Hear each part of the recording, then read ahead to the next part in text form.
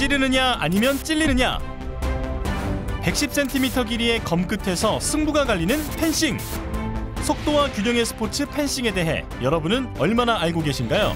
순간의 미학이라 불리는 스포츠 펜싱에 대해 알아볼 텐데요. 아래!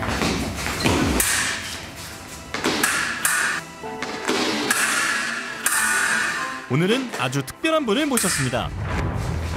2012 런던 올림픽 금메달리스트이자 아시아 펜싱 사브르 최초로 그랜드슬램을 달성한 원우영 선수와 함께합니다.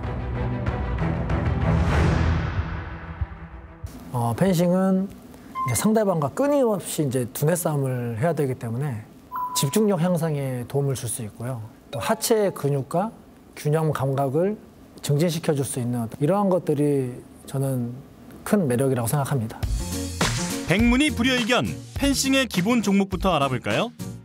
펜싱은 공격 범위에 따라 크게 세 가지로 나뉘는데요. 몸통을 찌르는 플레레, 머리와 손을 포함한 전신을 공격하는 에페, 그리고 찌르기와 배기가 모두 가능한 사브르는 허리 위를 공격할 수 있습니다.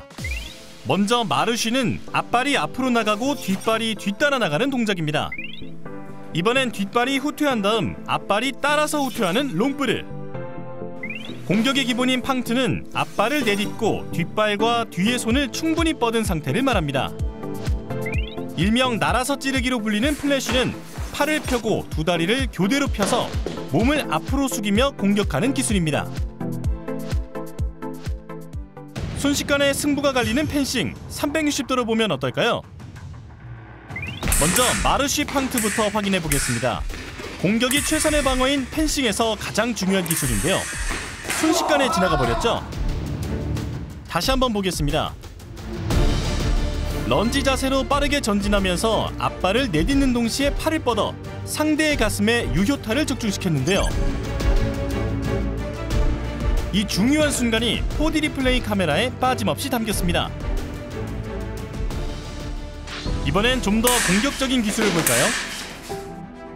동작이 더 잘게 나뉘어 있는데요. 상대에게 틈을 주지 않기 위해 앞서 본 마르시 팡트 동작을 빠르게 반복하다가 순식간에 반격하는데요.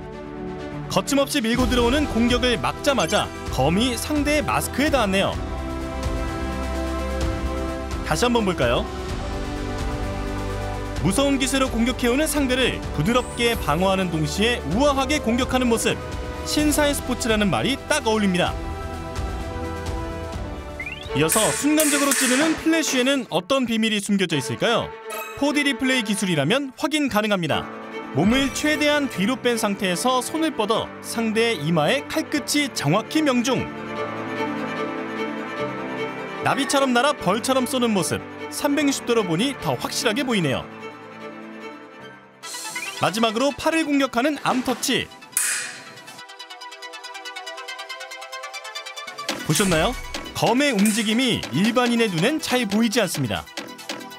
하지만 360도 카메라로 보면 공격이 어떻게 들어갔는지 확인할 수 있는데요. 상대가 점프해 공격하기 직전 상대의 오른팔 안쪽에 칼끝이 닿았습니다.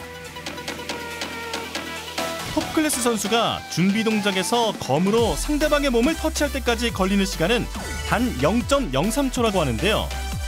이렇게 빠른 공격이 가능한 건 어떤 상황이 닥치든 몸이 먼저 반응하도록 끊임없이 반복 훈련을 했기 때문입니다.